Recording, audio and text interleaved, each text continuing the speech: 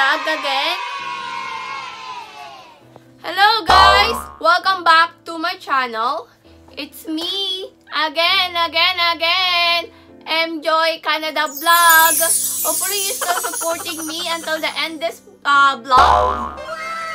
So our topic for today ay ang ating tatalakayan for today ay yung mga taong gustong lumipat dito sa Canada. Uh, 10 things you should know before moving to Canada. Shall we start?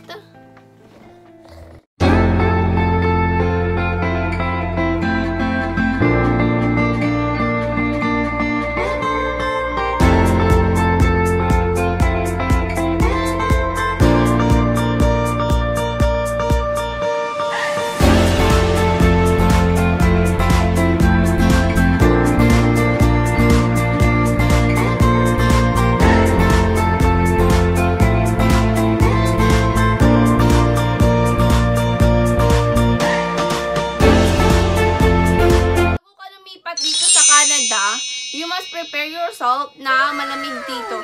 That's number one.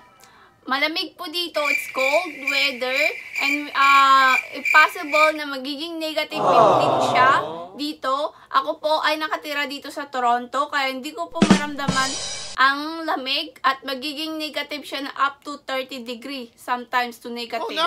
So, you must prepare your jacket. sweaters if you coming here go during winter time. Number two, language. Ang language po nila dito sa Canada ay English. Ah, Canadian English. And alangan naman po tayo, magtagalog po tayo pag nakikipag-usap po tayo sa mga Canadian. hindi po. Kasi hindi po nila maintindihan ang ating mga lingwahe. Kaya, ang first language nila dito ay English Canadian accent. How do you say the word sorry? So it gives two options here sorry with an O or sorry. So I obviously say sorry. And this question's kind of funny because it's the most Canadian word ever. Like, I mean, we always get a lot of slack from our American neighbors for saying sorry all of the time. I mean, even naman tayo maging Canadian accent basta practicein lang natin ang ating communication sa kanila. And also guys, ah second language nila dito, French. Ang alam ko lang na salita ay bonjour.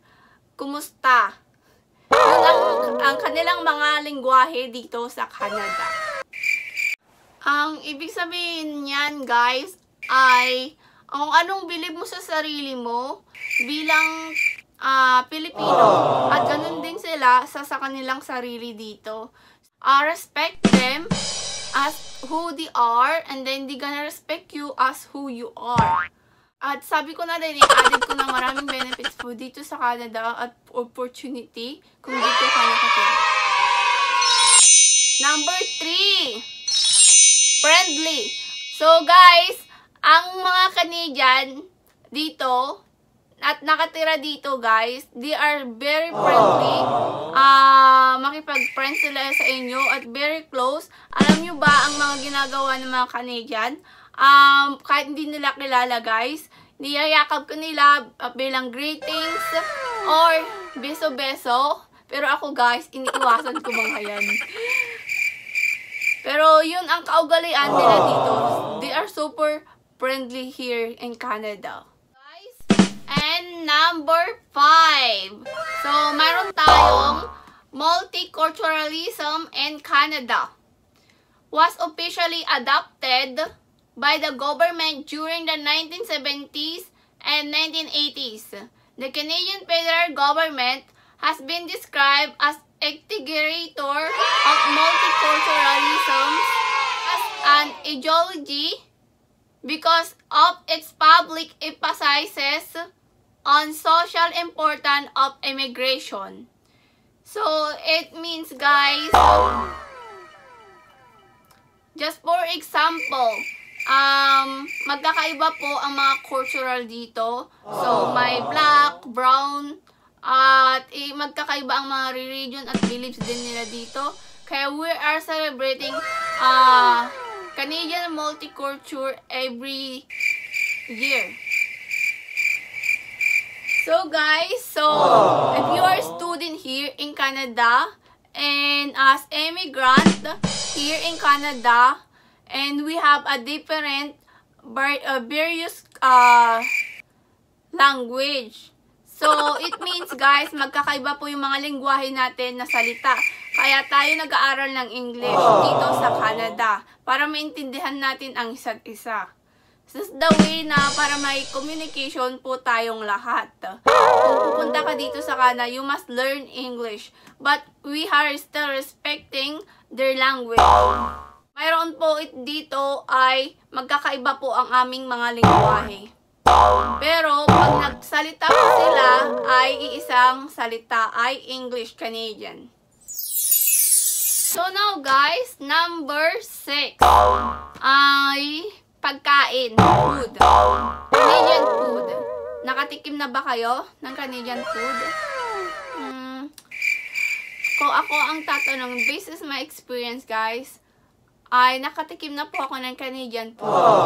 Ang Canadian food ay kakaiba sa mga recipe nating mga Pinoy. Siya maasim yung pag sa spaghetti, for example. At hindi po sila madalang kumakain ng mga rice. Di kagaya natin, kumakain tayo ng rice. Ang pinaka-rice nila yung mga bread. Pasta, mahilig sila dito. Number 7 pay too much. Ano ibig sabihin ng pay too much? Ibig sabihin nun, guys, too many bills here in Canada. Sa totoo lang, guys. I've been long time here, in 9 9 years, na-experience ko na yan, many bills. Kung hindi ka marunong magtipid, at marami kang bills, Ginagawa mo. yung pay-to-pay check mo, mapupunta lahat sa mga bills mo. Kagaya ng mga luxuries na gustong-gusto mo. Lalo yung mga phone na babayaran mo. Ang phone dito ay umaabot ng $100. Sabi ko sa inyo, may last vlog na pag may phone ka dito, ah, zero down. Yes, guys, zero down. But you have to pay ah, $100 every month. Yun nakakaloka ang mga bills dito, guys. Kung sa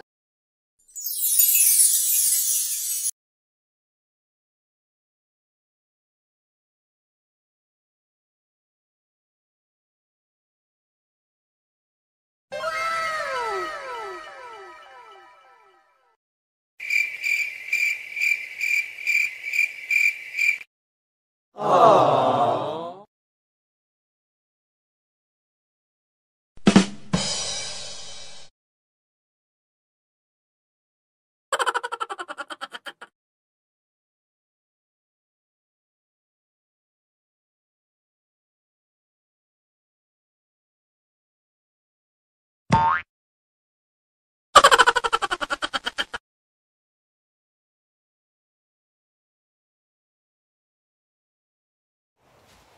Number 9. Meron tayong public transportation dito sa Canada. So, it means public transit. It means, guys, may TTC po kaming na sinasakyan. Pero, ah, controlled ng government po yun. So, kami po as a client, as a student, na nagsumasakay doon, ay nagbabayad po kami ng $3.25. Yun po aking binabayaran pag student ka. Pag ah, adult ka naman, you paying uh, $3.75, I think. I'm not too sure kasi nga, 2021 na ngayon. Every year, tumataas yung pamasahe namin dito sa Canada. Papakita ko na lang yung public transit namin dito. Ano pa ba? At also guys, pwede ka din ah, bumili ng Ginagawa mo. monthly pass para make sure na unlimited kahit saan ka pumunta. Pero ngayong pandemic guys, hindi po ako bumibili ng unlimited na Presto. Ako bumibili ng public uh, fare ngayon kasi hindi naman ako lumalabas ng bahay. And last but not least, number 10. This one, Canadian, they're super polite.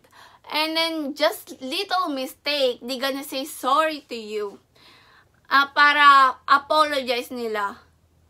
Pero sa Pilipinas, parang mabigat yung sorry nila. Ang kala nila kung nag-sorry ka na may kasalanan ka. Pero dito, guys, they are super polite, guys.